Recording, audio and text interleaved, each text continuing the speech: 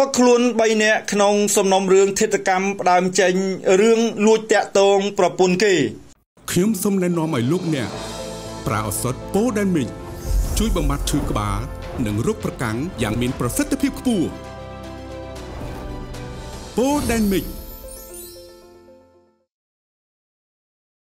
ជនសង្ស័យចំនួន3នាក់ត្រូវបានកម្លាំងការិយាល័យនគរបាលព្រំប្រទានកំណត់ស្រាលសហការជាមួយកម្លាំងជំនាញនៃអត្តការដ្ឋាននគរបាលស្រុកសង្កែធ្វើការស្រាវជ្រាវរហូតឈានដល់ការខកខ្លួនបានជាបន្តបន្ទាប់កាលពីរសៀលថ្ងៃទី16ខែវិច្ឆិកានៅចំណុចភូមិពុកឆ្មាឃុំអន្លង់វិលស្រុកសង្កែបន្ទាប់ពីសង្ស័យថាមានជាប់ពាក់ព័ន្ធនឹងអំពើឃាតកម្មកាលពីសប្តាហ៍មុនដែលផ្ដើមចេញពីរឿងស្នេហាត្រីកោណតាមរបាយការណ៍បឋមររបស់អធិការដ្ឋាននគរបាលស្រុកសង្កែលោកយុទ្ធតងហូបានឲ្យដឹងថា ជនសង្ស័យដែលត្រូវខាត់ខ្លួនបាន មានមួយឈ្មោះយឿមម៉ែនអាយុ21ឆ្នាំ ជនដៃដល់នឹងជាតួអង្គក្នុងរឿងស្នេហាត្រីកោណពីរឈ្មោះសឿមស៊ីតង់អាយុ23ឆ្នាំ និង3ឈ្មោះវីខេតហាវ៉ាអាយុ20ឆ្នាំ ពួកគេរស់នៅក្នុងភូមិពុកឆ្មាឃុំអន្លង់វិលស្រុកសង្កែលោកយុទ្ធតងហូបានឲ្យដឹងទៀតថាជនសង្ស័យទាំង3នាក់នេះ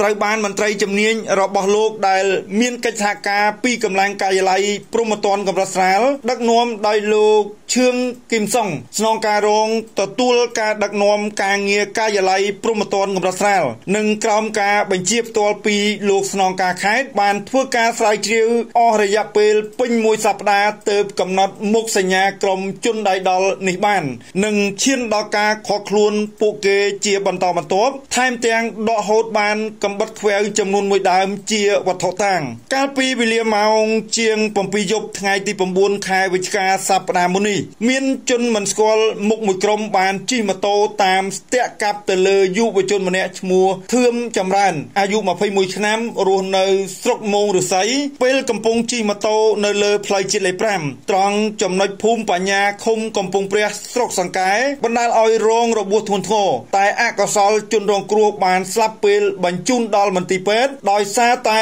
រងរបួសធ្ងន់ពេកត្រង់ក្បាល ក្រោយថ្ងៃកើតហេតុសមត្ថកិច្ចមិនទាន់ហ៊ានសន្និដ្ឋានបែបណាទេចំពោះរឿងនេះដោយគ្រាន់តែដាក់ការសង្ស័យជាបឋមថាអាចជាអំពើប្លន់ព្រោះជនរងគ្រោះបាត់ទូរស័ព្ទមួយគ្រឿងនិងខ្លះសង្ស័យជាសង្គ្រាមក្រុមក្មេងទំនើងប៉ុន្តែក្រោយខកខ្លួនក្រុមជនសង្ស័យបានទៅ បែកធ្លាយជាអំពើធិតកម្មដែលផ្ដើមចេញពីរឿងស្នេហាត្រីកោណសោះស្នងការរងដែលដឹកនាំកិច្ចប្រតិបត្តិការនេះលោកឈឿងគឹមសុងបានប្រាប់ TNM ឲ្យដឹងថាបើតាមការស្រង់ចម្លើយជនដៃដល់នឹងជាតួអង្គក្នុងសំណុំរឿងនេះផងរឿងនេះបានផ្ដើមចេញពីរឿងជនរងគ្រោះលួចតាក់ទងស្នេហាជាមួយប្រពន្ធជនដៃដល់តាមរយៈលេងឆាតជាមួយគ្នា លោកស្នងការរងបានបញ្ជាក់ថានៅយុគកើតហេតុជនសង្ស័យឈ្មោះយឿមម៉ែនបានលួចមើលទូរស័ព្ទប្រពន្ធស្រាប់តែឃើញមានឆាតឆ្លងឆ្លើយណាត់ជួបជាមួយជនរងគ្រោះហើយឆក់ឱកាសប្រពន្ធដេកលក់ជននេះក៏សរសេរអក្សរឆាតបន្លំជាប្រពន្ធណាត់ឲ្យជនរងគ្រោះមកជួបទាំងយប់លុះជនរងគ្រោះជិះម៉ូតូចេញពីស្រុកមោងមកជួបក៏ត្រូវក្រុមជនដៃដល់ស្ទាក់កាប់សម្លាប់តែម្ដង នៅក្នុងសំណុំរឿងនេះបើតាមចម្លើយសារភាពរបស់ forte ជនសង្ស័យឈ្មោះយឿម៉ែននៅចំពោះមុខសមត្ថកិច្ចបាននិយាយថាខ្លួនបានតាមដានដឹងថាជនរងគ្រោះបានស្គាល់គ្នាជាមួយប្រពន្ធខ្លួន ហើយថែមទាំងបានលួចតាក់ទងទំនាក់ទំនងស្នេហាជាមួយគ្នា តាំងពី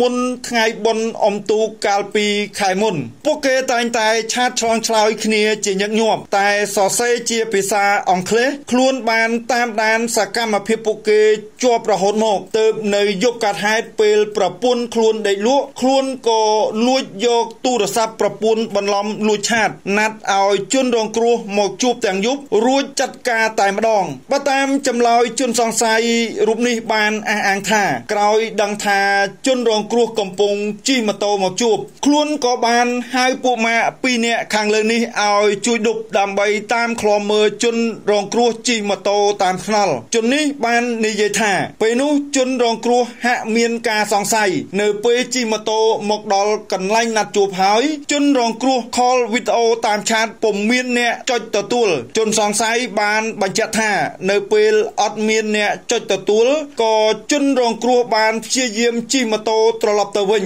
តែខ្លួនបានឃើញក៏ស្ទាក់នាំគ្នាជិះម៉ូតូតាមស្ទាក់កាប់ត្រូវក្បាលមួយកំបិតដេកដួលលើថ្នល់ហើយពួកខ្លួនក៏ជិះរហូតទៅជននេះអះអាងថាខ្ញុំជាអ្នកកាប់ជនរងគ្រោះផ្ទាល់ដៃព្រោះខឹងនឹងជនរងគ្រោះលួចតាក់ទងប្រពន្ធខ្ញុំរីឯពីរអ្នកទៀតជាអ្នករួមដំណើរទោះយ៉ាងណាបើតាមលោកឈឿងកំសុងបានបញ្ជាក់ដែរថាបើតាមការស្រាវជ្រាវនៅកន្លែងកើតហេតុនាយប់នោះនៅពេលដែលជនរងគ្រោះកំពុងដេកដួលសន្លប់លើថ្នល់មានជនទី3បានជិះម៉ូតូមកដល់បានឆក់ឱកាសចុះយកទូរស័ព្ទជនរងគ្រោះមួយគ្រឿងរួចជិះរហូតទៅបាត់ដែលនាំឲ្យមានការសង្ស័យពីដំបូងថាជាអំពើប្លន់ប៉ុន្តែនៅពេលចាប់បានក្រុមជនដៃដល់ទើបបែកធ្លាយរឿងពិតជាតាមរយៈចម្លើយសារភាពរបស់ជនដៃដល់គឺជាអំពើធិតកម្មផ្ដើមចេញពីរឿងស្នេហាត្រីកោណពេលនេះមន្ត្រីជំនាញបាននឹងកំពុង